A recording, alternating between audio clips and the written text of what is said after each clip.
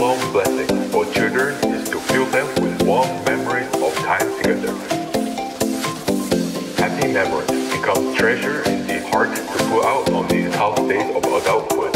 And here we